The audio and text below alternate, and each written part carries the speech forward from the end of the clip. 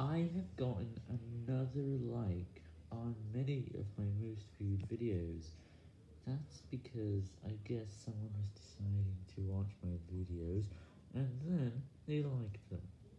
My brother went through some of my videos, and it was trying its best.